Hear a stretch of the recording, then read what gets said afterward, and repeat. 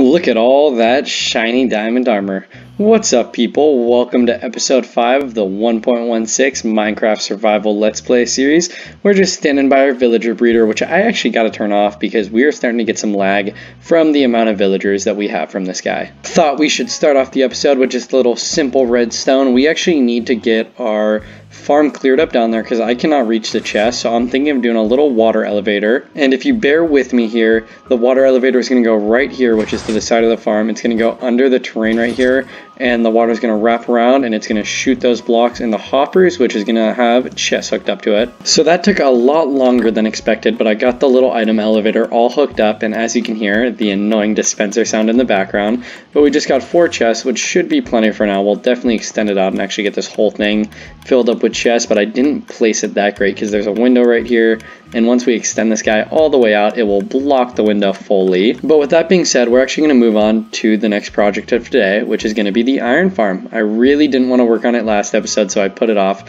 So I'm going to look for a decent little spot for this guy, and I will bring you guys back. So I think this is going to be the location of the iron farm. We're about, I would say, 120 blocks away from our little harbor, and probably another 120 blocks from the savannah over there. I think this is a pretty solid spot, and I've played it pretty safe here because if our villagers from the iron farm attracted the villagers over there, then the golems will just spawn in the middle. So I got ourselves a little scaffolding pillar going up, got a bed going because nighttime just fell and I had to sleep through that guy.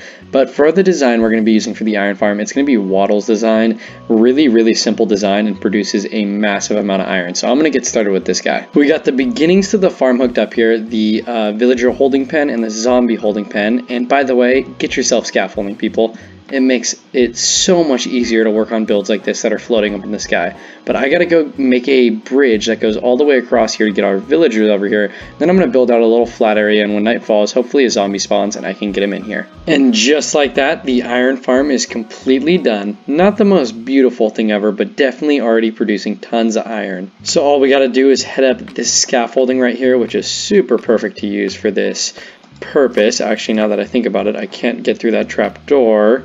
How am I going to get up here? Uh, this is kind of confusing now. I did not play my cards right. Okay, so we're going to have to lean over the edge just a little bit. There we go. And now we're up here, and it's been probably running for like, I would say, five minutes. And we're already at 31 iron and 9 poppies, which is super, super good. That is insane. So it's pretty late at night right now. And since I just got this thing finished up, I think we're going to run a little AFK session here.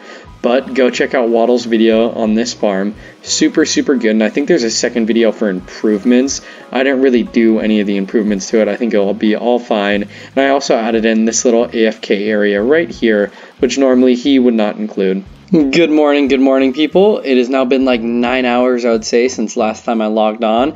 And this is how much iron we got. This is pretty ridiculous, I think, for a farm this size, only three villagers, one zombie, pretty simple farm going on.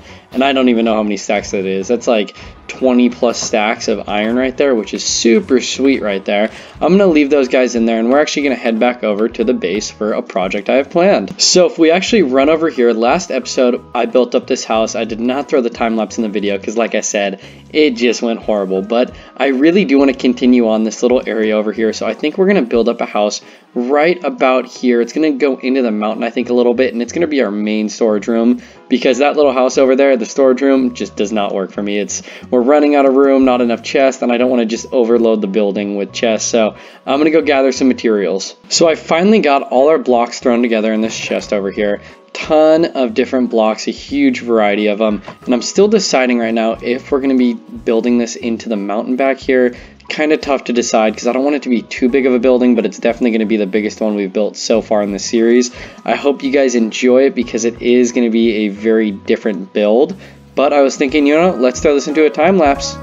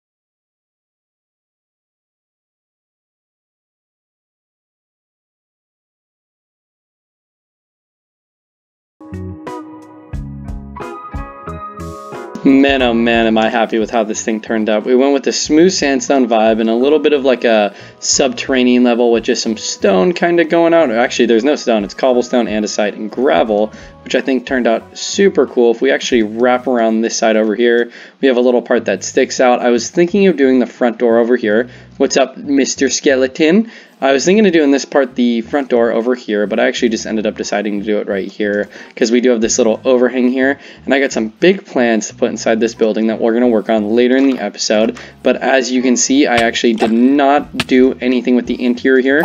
We got two skeletons, take one out, come on, power hit, and we got that guy out. Man, is it nice having this uh, Smite 4 here but I think it's looking super good in here. So I'm just heading over to our absurdly big wheat farm because I think we're going to turn this guy into a library and I need to breed up the cows a little bit more, get a few more pieces of leather going because I really want to have a ton of bookshelves in here.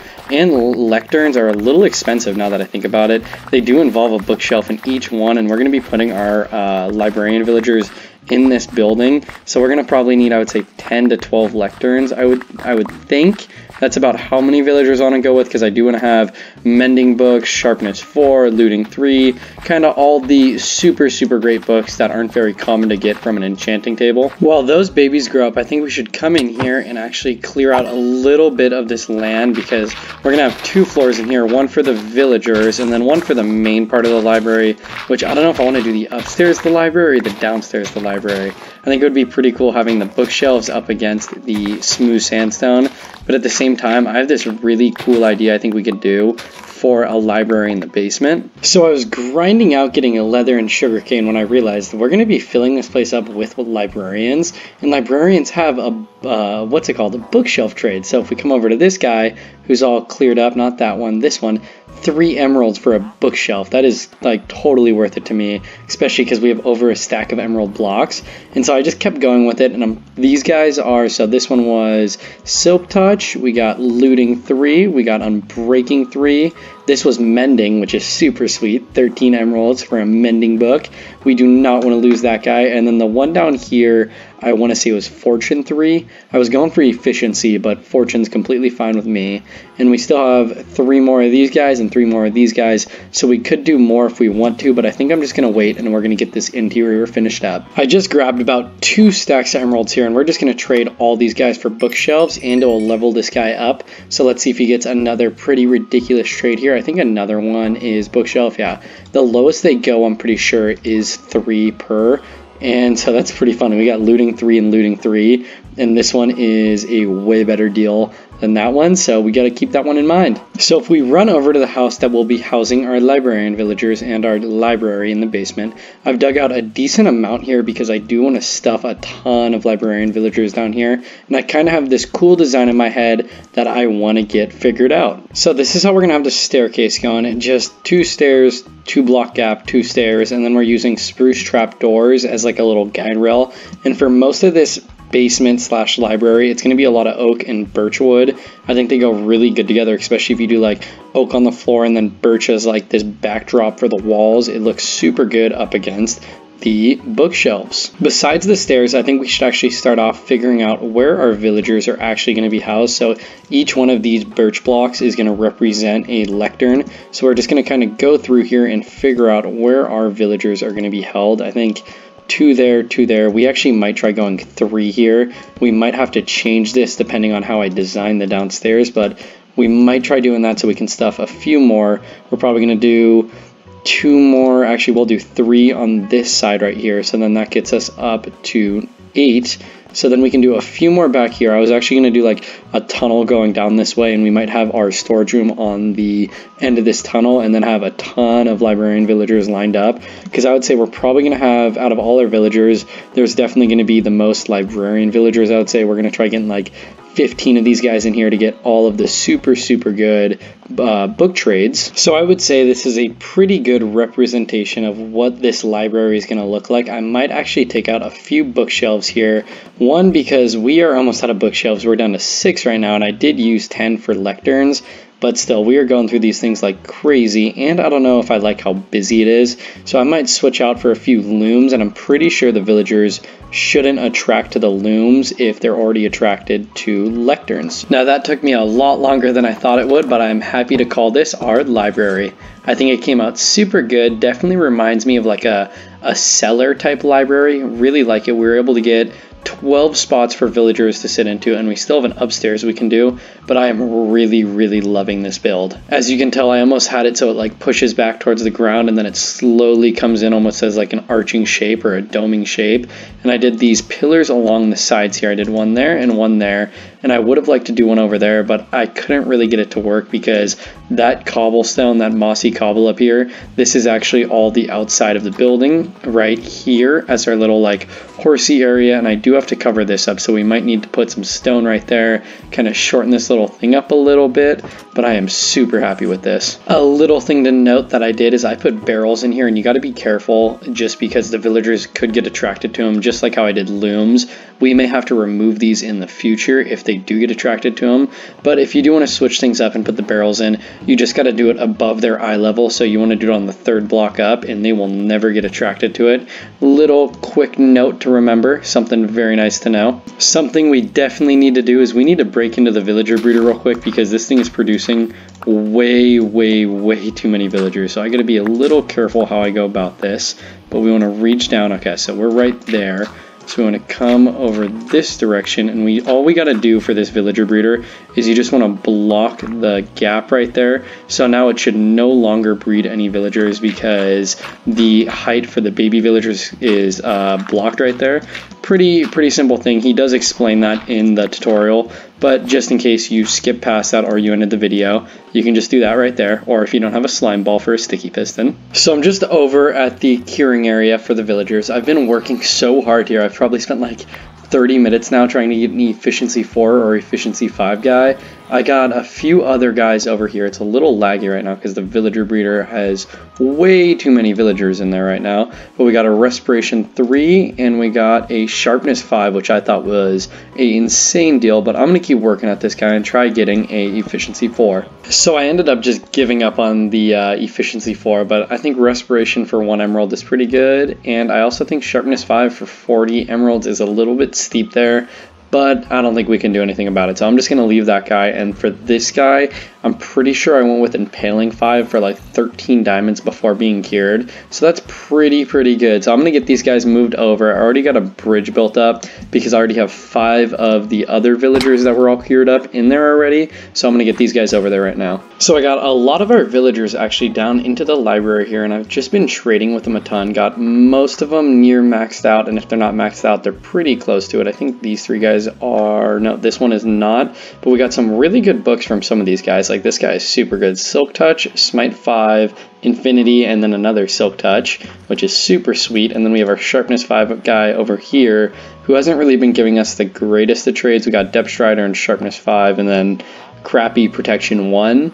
And then we come over to this guy, Looting 3, Looting 3, Efficiency 2. So on our next batch of getting these villagers, because we still have, I want to say, four more spots, and we need to get an Efficiency 4 or 5 guy by the first book because I do not want to take our chances. But our mending guy is not very good either. I mean, he has mending, which is fine with me, but Frostwalker 1 and Feather Falling 2. And then this guy is just Respiration 3. So we may actually switch this guy out in the future. But to give you guys a little look on how much trading I've been doing, if we look in some of these barrels which are hidden, we have different books. So Infinity in there, and they're going to get pretty confusing. I might actually have to make like almost a separate library or entrance that has all our barrels, but this this one is two sharpness fives. Those are super expensive to get. Those are 35 emeralds per book, which is definitely a steep price.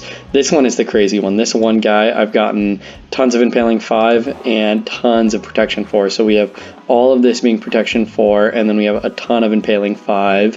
And then we come over to this one. I think that's empty. That's empty. This should be empty. And then we have two mending books. No, we're down to one mending book. I still got to get more of those. And then a crap load of Respiration 3. I absolutely destroyed our emerald supply while trading with those guys. So we're going to go down to the farming villagers and we actually got to get a bit more trading done. That should be enough melons and pumpkins. So I'm going to trade with these guys real quick. So I just did about three rounds of trading with these guys. Took a little bit, but it came out very, very nice. Check this out, guys. We got almost nine stacks of emeralds here. So let's actually craft these guys into emerald blocks and see. Oh, we got more than nine stacks of emeralds actually, just a little bit more, three more than that. So our emerald supply is back up to how it was before we even started trading with those guys. So I finally got ourselves an efficiency 4 villager after way, way too long. That was like an hour and a half worth of work just to get this guy. And all I was doing was going like that and then just breaking it and just going back and forth like that. And this guy finally popped up and I'm almost done with this whole downstairs. But there's this one villager right here and he does not want to go right there.